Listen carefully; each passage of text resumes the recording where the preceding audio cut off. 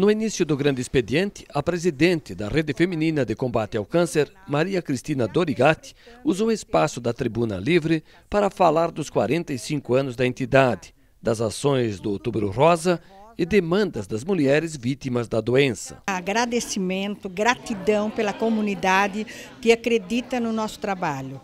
E agradecer também essa conscientização que a população está tendo no Outubro Rosa, no diagnóstico precoce de câncer.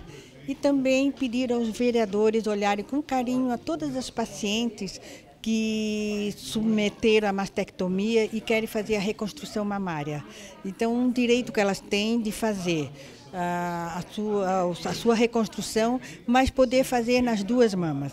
Então, esse foi o nosso pedido e com o poder público e gostaríamos que fosse feito. O comandante do 10 Batalhão da Polícia Militar, Tenente Coronel Jefferson Schmidt, apresentou aos vereadores cinco projetos voltados para a área operacional e de prevenção. Os três seriam voltados para a aquisição de armamento, é, lanternas táticas e a reformulação do nosso auditório, onde nós fizemos a parte de instrução aos nossos policiais para que eles estejam sempre bem preparados tecnicamente para bem atender a nossa população.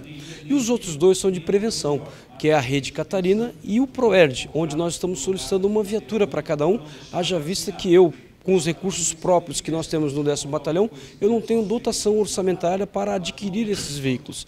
Preciso sempre estar buscando alternativas para que a gente possa manter essa frota para esse tipo de serviço preventivo, aquelas mulheres que são alvo de, e vítimas de violência doméstica e aquelas nossas crianças na idade escolar da quarto, do quarto ano e quinto ano, para a questão quanto à prevenção às drogas e também à violência. O ex-vereador de Blumenau, Ivan Nats, eleito deputado estadual, usou a tribuna para falar sobre o resultado da eleição e os desafios que irá enfrentar na Assembleia Legislativa. Eu espero poder estar na Assembleia e atender os pedidos da, da gloriosa Polícia Militar, trazendo recursos para ajudar nesse fortalecimento da fiscalização, que é isso que pede aqui o comandante da Polícia Militar. No mais, a reivindicação das meninas da Rede Feminina de Combate ao Câncer, mais recursos para a saúde, já começando a exercer a função de deputado estadual, né? Nos pronunciamentos dos vereadores, o presidente do Legislativo, Marcos da Rosa,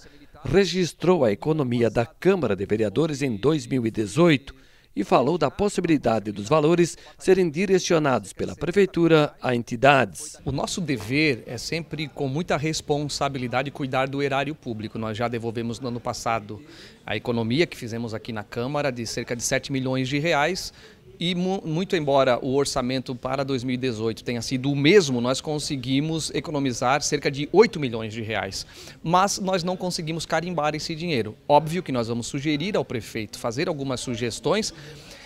Muito embora a prefeitura de Blumenau, assim como todas as outras do nosso estado, estão com dificuldade no tocante às finanças, mas nós vamos fazer algumas sugestões, principalmente na, em relação à polícia militar. Vamos ver se a gente consegue de alguma forma ajudá-los, mas eu repito aquilo que já disse, o importante mesmo é a gente fazer essa economia e devolver o recurso economizado para a Prefeitura Municipal. O líder do governo na Câmara, vereador Alexandre Matias, repercutiu a informação anunciada pelo prefeito Mário Hildebrand em relação ao macadame, usado nas ruas sem pavimentação. Vários vereadores levantaram esse assunto com relação à qualidade do macadame aqui na cidade.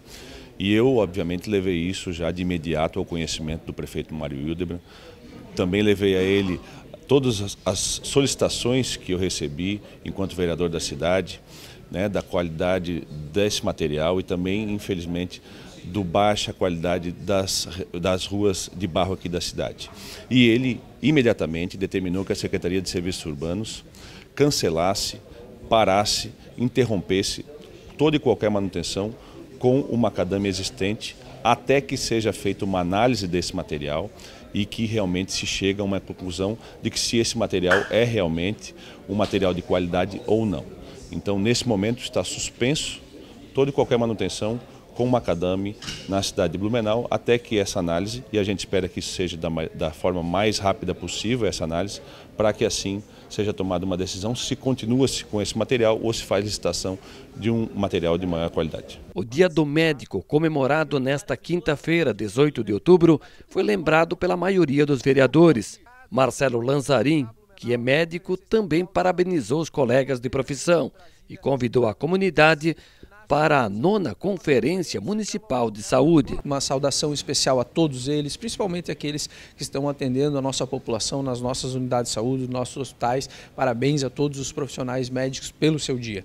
E também aproveitei para estender aí o convite a toda a comunidade, a todas as pessoas que utilizam o Sistema Único de Saúde. Nós estamos tendo aí no próximo mês as conferências regionais de saúde. Essas conferências vão tratar de vários temas, todos relacionados, obviamente, à saúde e são encontros preparatórios para a Conferência Municipal de Saúde que acontece em março e que né, nós nessa conferência vamos tratar esses temas relacionados à saúde aqui do município e também eleger os delegados que representarão Blumenau na Conferência Estadual e na Conferência Nacional de Saúde que ocorrem o ano que vem. Então, lembrar aqui e estender a todos o convite para participar das conferências regionais de saúde eh, que ocorrem nas regiões e todos podem procurar as informações nas suas unidades saúde e no seu ambulatório geral qual o local e horário da sua Conferência Regional de Saúde.